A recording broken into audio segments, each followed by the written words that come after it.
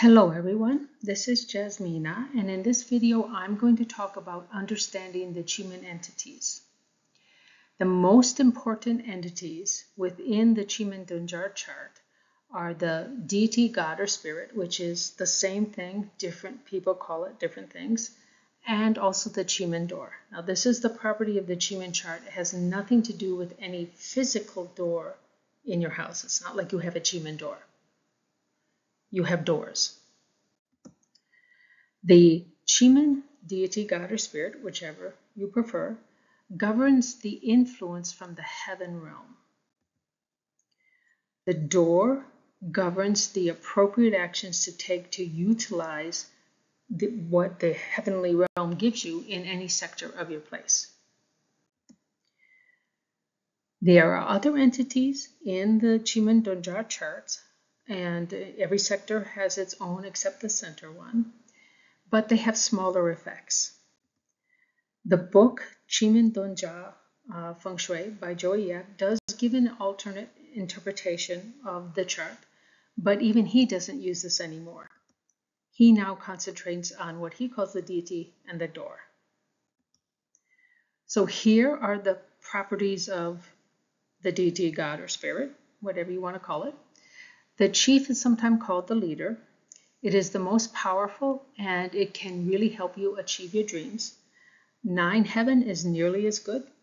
It's the second strongest, and I would be totally happy if I had that.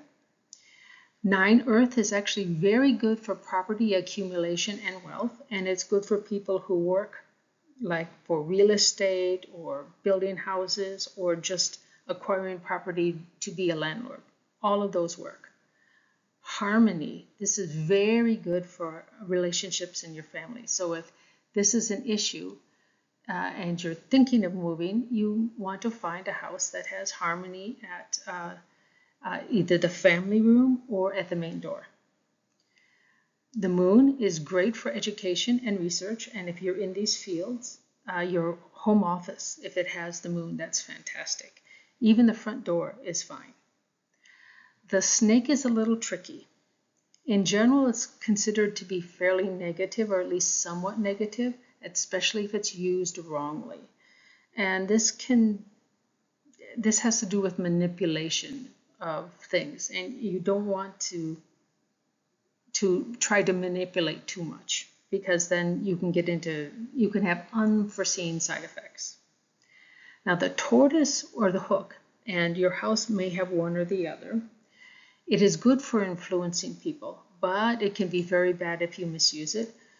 If this is in your home office or at your main door, you, you are more likely to start scamming people, and that will turn out very bad for you in the long run. The phoenix and the tiger are both good for courage, but also again can be very bad if you misuse it. It can lead to violence, and especially true if this is your front door or your family room. So, or even the bedroom of the owners. So this has to be treated carefully. Of course, there you already have to have that basic tendency uh, of abuse if this is going to create abuse. But if you are timid, this is very good, for example, maybe in your home office, where this gives you courage to do your job very well and to speak up and not be hidden when it comes to the Qi Men door, life is generally good. Uh, this is one of the best ones to have, especially at your main door. The death door is generally negative, but it's very good for eliminating bad habits. But hopefully this isn't a portion of your house that is like a bathroom or a storeroom or a laundry room, someplace that isn't important. It would actually be okay to have this in a family room um, it's not the best, but since that's not an important room, it's okay. Open door is fantastic for career. So if you're having trouble with your career and you can find a place with the main door or your home office with the open door, very good. The close or delusion door, it's some people call it one, others call it the other. This is good for research research and keeping hidden from negative people. So if you are living in a neighborhood that is like borderline or there's a fair amount of crime, if you can find a place with the delusion door at the main door, you're less likely to be broken into. And I've actually seen this happen in real life. Now, the fear door is not so good.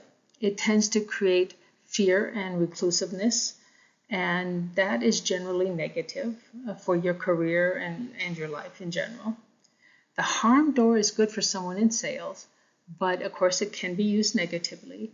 So if, for example, you had the hook and the harm door at your main door or in your home office, you have to have an extremely strong moral compass not to scam people. You're just going to fall into this without trying unless you really, really have strong moral fiber and don't want to do that.